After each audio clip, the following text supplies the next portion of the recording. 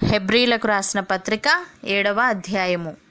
రాజులను సంహారము చేసి తిరిగి వచ్చుచున్న అబ్రాహామును ఎవడు కలుసుకొని అతనిని ఆశీర్వదించెనో ఎవనికి అబ్రాహాము అన్నిటిలో పదియవ వంతు ఇచ్చెనో ఆ షాలేము రాజును మహోన్నతుడకు దేవుని యాజకుడునైన మెల్కీ సెదకు నిరంతరము యాజకుడుగా ఉన్నాడు.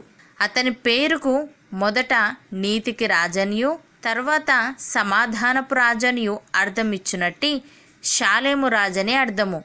అతడు తండ్రి లేనివాడును తల్లి లేనివాడును వంశావళి లేనివాడును. జీవితకాలమునకు ఆది అయినను జీవమునకు అంతమైనను లేనివాడునయుండి దేవుని కుమారుణ్ణి పోలియున్నాడు.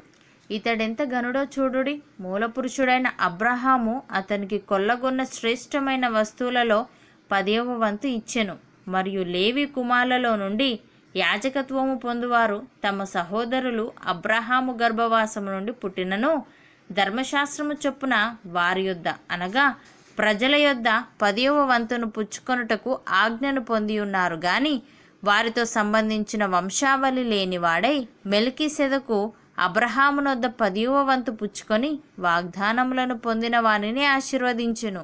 తక్కువవాడు ఎక్కువ వాని చేత ఆశీర్వదింపబడునన్న మాట కేవలము నిరాక్షేపమై ఉన్నది. మరియు లేవి క్రమము చూడగా చావునకు లోనైన వారు పదివ వంతులను పుచ్చుకొనుచున్నారు. అయితే ఈ క్రమము చూడగా జీవించుచున్నాడని సాక్ష్యము పొందినవాడు పుచ్చుకొనుచున్నాడు. అంతేకాక ఒక విధమున చెప్పిన ఎడల పదియవ వంతులను పుచ్చుకొను లేవియు అబ్రహాము ద్వారా దశమాంశములను ఇచ్చెను.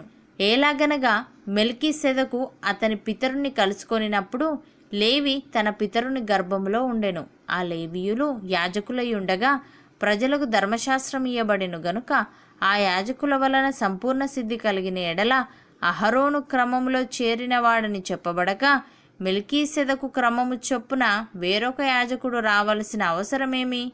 ఇదియుగాక యాజకులు మార్చబడిన ఎడల అవశ్యముగా యాజక ధర్మము సహా మార్చబడును.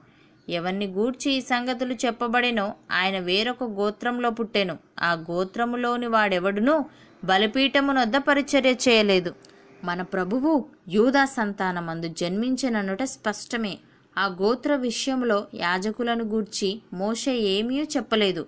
మరియు శరీరానుసారముగా నెరవేర్చబడు ఆజ్ఞగల ధర్మశాస్త్రమును బట్టి కాక నాశనము లేని జీవమునకున్న శక్తిని బట్టి నియమింపబడి మెలికి సెదకును పోలిన వాడైన వేరొక యాజకుడు వచ్చి ఉన్నాడు. కావున మేము చెప్పిన సంగతి మరింత విషదమై ఉన్నది. ఏలయనగా నీవు నిరంతరము మెలికి సెదకు క్రమము చొప్పున యాజకుడవై ఉన్నావు అని ఆయన విషయమై సాక్ష్యము చెప్పబడెను. ఆ ధర్మశాస్త్రము దేనికిని సంపూర్ణ సిద్ధి కలుగజేయలేదు గనుక ముందియ్యబడిన ఆజ్ఞ బలహీనమైనందునను నిష్ప్రయోజనమైనందునను అది నివారణ చేయబడి ఉన్నది అంతకంటే శ్రేష్టమైన నిరీక్షణ దాని వెంట ప్రవేశపెట్టబడెను. దీని ద్వారా దేవుని వద్దకు మనము చేరుచున్నాము. మరియు ప్రమాణము లేకుండా యేసు యాజకుడు కాలేదు గనుక ఆయన మరి శ్రేష్టమైన నిబంధనకు పూట కాపాయను. వారైతే ప్రమాణము లేకుండా యాజకులగుదురు గాని ఈయన నీవు నిరంతరము యాజకుడవై ఉన్నావని ప్రభు ప్రమాణము చేసెను.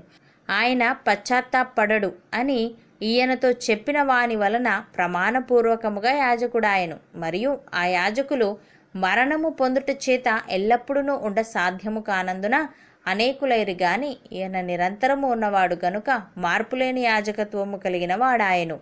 ఈయన తన ద్వారా దేవుని వద్దకు వచ్చి వారి పక్షమున విజ్ఞాపనము చేయుటకు నిరంతరము జీవించుచున్నాడు గనుక వారిని సంపూర్ణముగా రక్షించుటకు శక్తిమంతుడై ఉన్నాడు. పవిత్రుడును నిర్దోషియు నిష్కల్మషుడును పాపులలో చేరక ప్రత్యేకముగా ఉన్నవాడును ఆకాశ మండలము కంటే మిక్కిలి హెచ్చైన వాడునైనా ఇట్టి ప్రధాన యాజకుడు మనకు సరిపోయినవాడు. ధర్మశాస్త్రము బలహీనత గల మనుష్యులను యాజకులనుగా నియమించును గాని ధర్మశాస్త్రమునకు తర్వాత వచ్చిన ప్రమాణపూర్వకమైన వాక్యము నిరంతరమును సంపూర్ణ సిద్ధి పొందిన కుమారుని నియమించెను. గనుక ఈయన ఆ ప్రధాన యాజకుల వలె మొదట తన సొంత పాపముల కొరకు తర్వాత ప్రజల పాపముల కొరకును దినదినము బలులను అర్పింపవలసిన అవసరము గలవాడు కాడు. తన్ను తాను అర్పించుకున్నప్పుడు ఒక్కసారే ఈ పని చేసి ముగించెను.